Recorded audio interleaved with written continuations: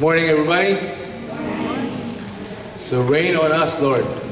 Not from uh, heaven today, or I'm talking about water, right? Rain, rain water. Please open your Bible in Genesis 22 and uh, put your finger in there. We will study the Word of God. You can also open your iPhone where your Bible is.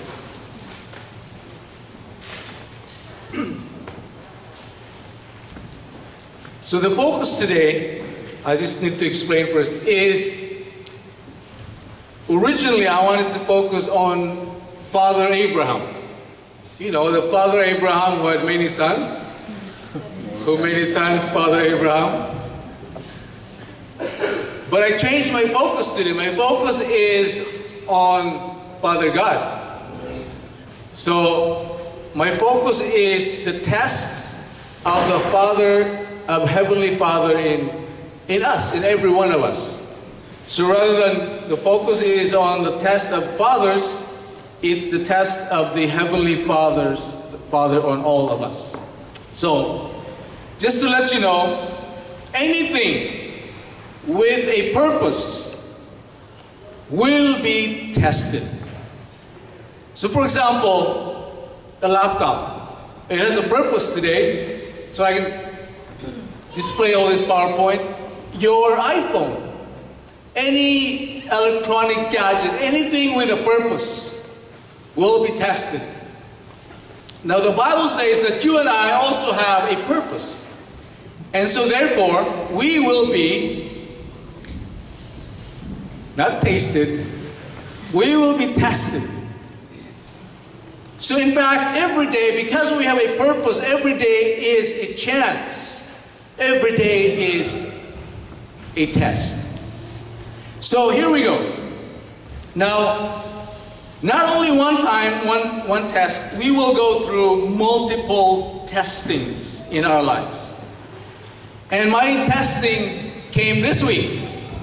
Okay, so this, this is what happened to my test. This was about Thursday.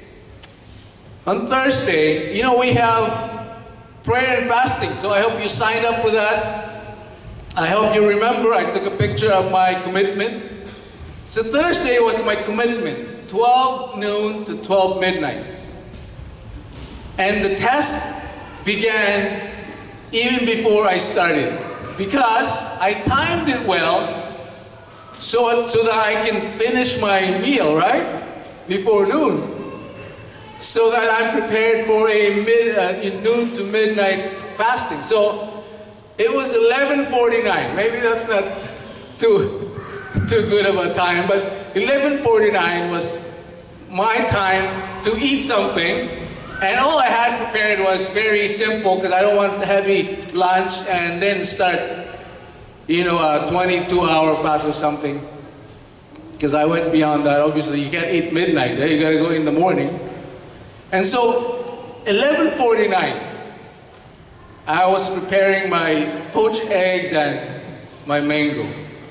Somebody gave me mango.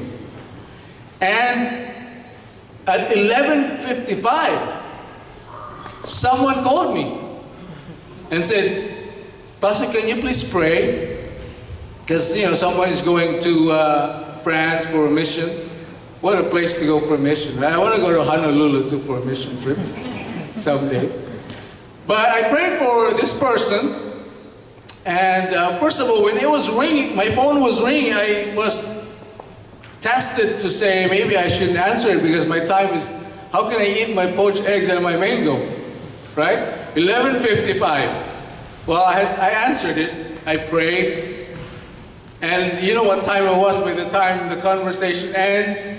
And so my another test was, should I eat my food now? My poached eggs and my mango. And guess what I did? I ate them. I failed just like that. So by the time, I was aiming for 12 p.m. to be exact, to 12 midnight or even further, but it was 12.08 by the time I finished. Every day I said, well, I failed in that. So every day is a test for, for us, for you, and for me.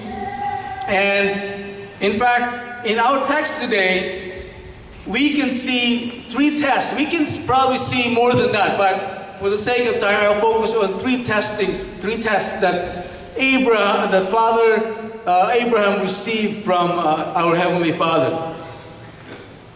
And we know it's a test because in Genesis 22, verse 1, it says, Sometime later, God tested Abraham. He said to him, Abraham, here I am. He replied. So we know that God is testing Abraham. Now, let me just clarify the difference, just in case we forget that there's a difference between temptation and testing. So when the Bible says God does not tempt anyone, He does not tempt us, but He tests us. So, because the difference is that temptation will lead us to sin, and testing will lead us to a stronger character. And so, God tests us, but He does not tempt us. And so, we know that this is a testing for Abraham from our Father. And it's the same test that we will receive in our lives today and this week. So, the first test was the test of surrender. Say that word with me surrender. Surrender. Surrender. What does surrender means? Well, it means to surrender. It means, you know, in, in fact, you can use the word absolute surrender. And absolute surrender is when you give up everything. For my vocabulary, by the way, the word surrender, sacrifice, and suffering are all synonymous. It rings the same sound to me. Surrender, sacrifice, suffering. And for Abraham and for us, we will be tested every day. Every day is a test. God will test you. Will you throw the garbage on the street? Will you pick up the garbage on the street and try to clean up yourself? Are you going to look away from sin? Every day is a test. I don't know if you know what it's that, but every day is a struggle. Because every day is an opportunity for us to surrender to, the, to our Father God. Here's what uh, verse 22 says. Then God said, Take your son, your only son Isaac, whom you love, and go to the region of Moriah. Sacrifice him there as a burnt offering on one of the mountains I will tell you about. Child sacrifice, we know from the Bible, is not allowed. But in the time of Abraham, this is before the time of the, uh, the law, remember, the pagan religion, it was allowed to sacrifice child. And so that's why it's never mentioned here that it was wrong to sacrifice. By the way, by the time Abraham was called by God, in this instance, but he started at the age of 75 when his first call to leave his country. 75, and you know how old his wife was? He was, she was 65. So they're all seniors, senior citizens. So for our seniors here, don't think that your life is about to be over. It's just the beginning. In fact, if you have seniors discount cards, that's, that's the beginning of a good life with God. It's the beginning of the call of Abraham and the call of Sarah. Now, before this testing, by the way, in Genesis 22, Abraham received so many testings. Number one, as I mentioned earlier, he was tested in Genesis 12 to leave his country, to leave his people. In Genesis 14, he was tested to give a tenth of all his income to Melchizedek. And of course, on Genesis 22, he was called to offer his son. He was also tested in Genesis 20 and he lied. He failed. He lied that his wife was his sister. It was half lie, by the way. yeah. Because they were, you know, they were kind of related. So the test of sacrifice is really a test of absolute surrender. So as I mentioned earlier, surrender, sacrifice, suffering, they're all synonymous. I met this week, by the way, I met with Pastor Ben, uh, Dr. Jackie Lau.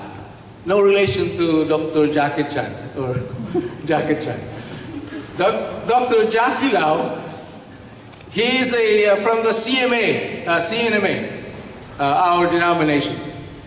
And he mentioned two things about why, he said, why do you think Christians in China flourished even though they were suffering, even though there were persecution, even though their churches were burned down and closed, and they have to end up in houses. Why do you think Christian, the religion, the relationship with Jesus, Christianity flourished? One thing that I remember, he said, is because Christians in China, they had four things they want to do, commit. And one of them is suffering for Christ. So they talk about house churches. They talk about, you know, all you need to do in house churches is pray, read the Bible, you know, expect miracles from God. But one of them is suffer, not be willing to suffer. It is suffer for Christ. And so when they talk about, you know, when a Christian would say, you know, I was in prison for two years for my faith. And then another one would say, oh, you know what, I, I, I was in prison for five years. And then someone would say, you know, I was in prison for 10 years. So that's the conversation they have. And so surrendering involves all that stuff, the suffering. And so for Christians, for us, it is a call, this text is actually a call, this surrender is a call to be not only to sacrifice, but it is also a call to suffer. Because how much pain do you have when you offer your only son? How much suffering do you feel? And so Abraham, by the way, had two mountains. I know it says here in, in verse 1 that he had, God asked him to offer Isaac in one of the mountains. But once the Mount Moriah was chosen, I believe he had two mountains there. To, number one was to climb the Mount Moriah, and the number two is that once you get there, another mountain is to sacrifice your only son. And mountains are actually symbolic of problems in our lives. And so maybe today you have mountains that you are trying to carry or trying to climb. It could be in your marriage, it could be your finances, your child, your health. But my question is, what happens if the mountain is not removed? You know how you can pray to, you know, with faith and God will remove mountain. That's what it says in the Bible. But what if, you know, your child is still problematic? What if your child is still rebellious? What if your health is not healed? What if your husband does not change? I mean, you can't return him to the mother-in-law, right? Or could you? what if those things never change or problems are not removed? Then we learn from Abraham. You know what he did? He climbed the mountain. He climbed that mountain. And that's what we need to do. We need to learn. And that involves surrender. Here's a second. Uh, in, in, oh, in verse 11, uh, uh, chapter 11, 17 of Hebrews, we are affirmed by that it was a test from God when it says, by faith Abraham, when God tested him, offered Isaac as a sacrifice, he who had received the promises was about to sacrifice his one and only son. So we know that it was a test. And we will be tested. And one of the key tests, the sacrifice is a test of surrender. And the second one is the test of trust. The test of trust. You're gonna have to trust a tiger to lick your head without swallowing you. You know, in, uh, in Indonesia, they found a python. They were looking for this 54 year old woman and in the garden and They couldn't find her. The whole neighborhood, the whole community looked for her. And they only saw sandals and the bolo, you know, the cleanup uh, thing. And close to the sandal and the bolo was the big python. And they opened it up. Lo and behold, the woman was inside. You know, it requires some kind of trust for this person to have a tiger lick your head. But the test of trust we can find in 7 to 8. It says, Isaac spoke up and said to his father, Abraham, Father, yes, my son.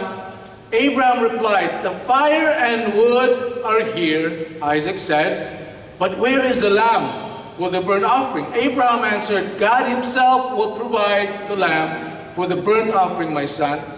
And the two of them went on together. What is it that God wanted to trust Abraham? You have to go back to uh, Genesis 12. He says in uh, Genesis 12 that Abraham will be the father of many nations. And that the world, that's including us, will be blessed through him. That's a big trust. And so he is entrusting Abraham with this world, the salvation, the blessing of the world. And Abraham, we find out that the greater the, the trust responsibility, the greater the sacrifice requirement. Just think about it. The greater the, the responsibility you have, the greater the trust, the, the sacrifice requirement. In this case, it was to sacrifice his one and only son. But we know that Abraham trusted, you know why? Because in verse 5, it says this, and let's read this together. Verse 5, ready go. He said to his servants, Stay here with the donkey while I and the boy go over there. We will worship and then we will come back. Do you really think that Abraham believed in this? Because he is saying that to his two servants, they brought two servants, Isaac and Abraham, and a donkey. So he said to the servants, stay here, we will go to that mountain and stay with uh, the donkey, with uh, Shrek, is that the, the donkey, Shrek? Stay with Shrek, and we will go and we will come back and worship. So he believed that he, for some reason, will come back with Isaac. That involves, that requires trust. Trust is a very simple word, but very difficult to do. Let me give you an example. This week, Nina and I, I went with uh, Nina to the doctors, uh, her, uh, her surgeon.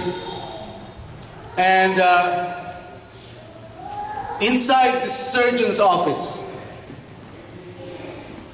if you look at his office from the top of the ceiling all the way to the eye level, even chest level, are all certificates, all of the uh, honors, the degrees, the appreciation are all posted on the wall. And remember, this is a, a brain surgeon. And so, when I look at all these qualifications, it makes, it makes you feel good, actually. It helps me to trust that he knows what he's doing because a lot of people has, you know, have recommended him and he's got so many uh, accolades and all that stuff. So it makes me feel good that at least, you know, he didn't take his degree online like other people. And he didn't learn to operate uh, online as well, watching videos online. So the trust is equivalent to the sacrifice.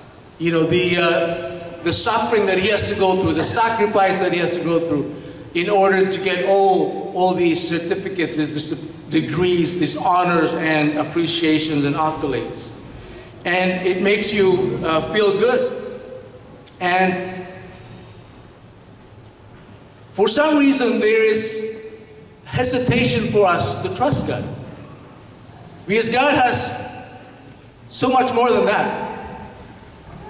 But for some reason, I have a tendency maybe to trust more the doctor with accolades than the God. Because I got to make sure this guy can be trusted. And so we can trust God, and He is asking us to do that. He, Abraham, that is, trusted. And that's why he was able to say, Come back, we will come back together. In verse, uh, in this verse that we just read, Isaac would have been 16 to 20 years old. So at 16 to 20, I'm thinking, you know, you have, you can run, right? just put your sandals and go. So I wonder what took place there, but uh, the offering, the sacrifice did uh, happen. It was about to happen. And uh, Isaac, as a teenager, he was asking his father, maybe like in a sarcastic way, you know, like maybe because uh, Abraham at this age, at this point, the cult started when he was 75, but at this time in his life, he would have been around 116, which I don't want to live that long. And at 116, this took place. And so as a teenager, you know, maybe he was sarcastic. Dad, you know, hello, the uh, all the stuff that we need are the fire, the wood, but where's the lamb? Did you forget the lamb? Forgetful? In Canada, we would call them old men. Old man. Did you forget the lamb? And uh, you know, Abraham might have said, No, we have it. It starts with an I. Take a guess. And so the uh, at this point in this story, you know, the uh, surrendering and the trusting is the same test that we will experience every day. At some point in my life, you know, in uh, in where I grew up, the only way we have, we don't have, when we get sick, we don't have doctors. We don't have hospitals. Well, we do, but it's too far. By the time you get to the hospital, you're dead anyway. So the only way for us really to survive is to trust in God. And, you know, when you have nothing else, when you have no one else but God, your trust is really, really important. And when a doctor, for example, even in Canada we have doctors, but if the doctor tells us, sorry, I have nothing else for you, I can't do anything else, then what do you do? And in this case, all we have is God. And that's what I feel Abraham was. He was at that point where all he had was God. But here's the third test. Okay, so we will be tested to surrender. Will we be tested to trust in God? But the third one is the reason if we pass those two tests, the two tests that we'll pass will end up in us sharing or testifying the great story of God in our lives. It says, Abraham looked up, and there in a thicket, he saw a ram caught by its horns. He went over and took the ram and sacrificed it as burnt offering instead of his son. So Abraham called that place, the Lord will provide. Say that phrase with me, the underline one. The Lord will provide, right? The Lord will provide. And to this day, it is said, on the mountain of the Lord, it will be provided. The original word actually of that phrase in Hebrew is Yehovah Yireh. And in English, of course, we say Jehovah Jireh, but that means the Lord will see to it. And so when you surrender everything you have, because you trust God, then the Lord will see to it. He will provide. He will make sure. And so when He provides, it gives us a, a testimony to tell other people of what God has, has done, what this great God has done for us. Now, in Judaism, by the way, this story is, let me uh, unpack this in four uh, religion, okay? Uh, or, or three major religion. Number one, Judaism. Number two, Islam. And number three, Christianity. Because in Judaism, they see this as it is. They see that God is a great provider, Jehovah Yireh. But in uh, Islam, they see Abraham as someone who is the first prophet, and of course there are prophets after him. You know, down the line, then there's uh, Moses, and then all the way to Jesus. They think that way, and but they think that this is where they get actually the name Islam, which is you know submission, surrender. Because this is one of the key stories in Islam. In Christianity, here's the key with Christianity. We look at Abraham bringing or giving up his son, sacrificing, carrying his own wood basically to the mountain to be sacrificed. Christianity sees this and we think there's Calvary in the story. You know, Jesus carried his own wood to be sacrificed on the hill, Calvary, on Golgotha. And so these are the three major religions in the world. If you look at how many billions of people these are, because of the surrender and the trust, there is a testimony, there is a story that the Bible is relaying to us, and also we can do that. See, the only way we can tell other people good stories is when we have great result from God in our lives. Here's what uh, what happened. Let me uh, continue with my story about you know Nina and uh, and I in the hospital in the uh, the doctor's office because for Abraham he needs to take his son to the mountain, Mount Moriah. And for those of you who went to Israel, where is Mount Moriah again? It's in Jerusalem. It's where Solomon built his temple. That's where the area that Isaac was sacrificed. That is the same area that the Muslim destroyed and built a mosque. Golden Dome, they call it. And so here's the, the uh, what happened to Abraham. So he has two, someone told me this, this is not original for me. He had two faith at this point. Number one, he had a, he can either have a faith that can move mountain. You know, when you pray, God, please remove this mountain. And he removes that mountain. That's, someone calls that a mountain moving faith. But here's another faith. He can either,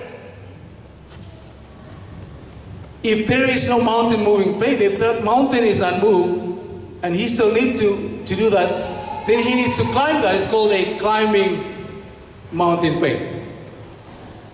So there are two options.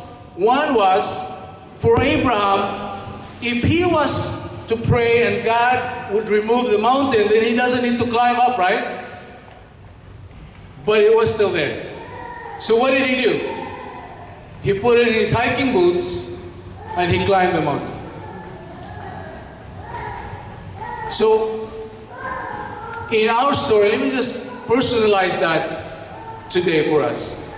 In our story, in the doctor's office, the reason why we were there is that because they noticed that Nina's uh, brain tumor is growing again. I mean, it's only one, by the way, but it's two more. but there's only one, okay? So it, it, it went from 2.2 to 3.4 cm. So like maybe like a uh, some walnut, right? That's nuts, but that size. Here's the thing we went there to find out whether there will be an operation or something. So the doctor actually, who operated her in 2006, removed some of that. The moment we got in, he goes, What can I do for you? He totally forgot that he did the operation. He didn't look at all the. Uh, these are the. This is the doctor that I really trust. He didn't look at all the details before he talked to him. What's the problem? Or what can what can we do? What can we do? So we have to tell him the story, and uh, he make it so so easy. He sound. It's like he goes like this. He showed us the, the, the picture. Oh yeah, it's growing this way. So that's so easy. I can just cut this way and move that. No problem. It's easy. He makes he's done probably like thousands of this kind of operation, right? So he said, oh, but do you have uh, any problem? Like, can you see? Uh, he tapped all the uh, toes, all that stuff, the, the knees. You have headaches, nothing. You know what? He says, we don't need to do anything. Come back in one or two years. He makes it so so easy. Like, it, it, oh, really? Okay, let's let's do that. So, in two years, we don't know if we still have to climb this mountain, or if God will remove the mountain. The only way for God to remove this mountain is either He it stops growing, or He removes the one more, or the tumor, whatever you call them. But here's what what we, I always thought this week because I wanted to find out, here's the, the key to my story by the way.